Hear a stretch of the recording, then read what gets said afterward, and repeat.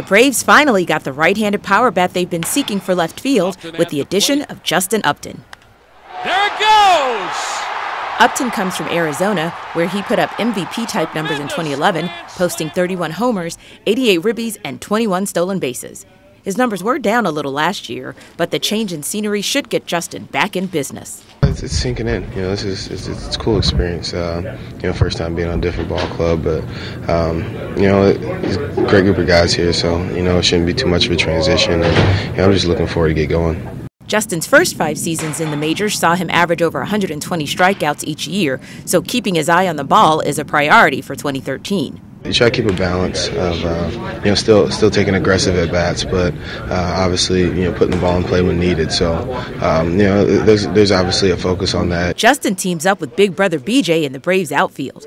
They'll take the team's long ball defense up a notch and help mow down a lot of fly balls. You know, it's exciting. You know, you you, you, look, you know that's something you dream about, and you know, with, with both of us uh, being here now, I think you know the, the, focus switches to baseball. You know, we, we kind of you know leave the the whole uh, aura of that behind, and you know, we, we know we have a goal here, and that's the win, and uh, you know that that's what we'll, we'll switch our focus to.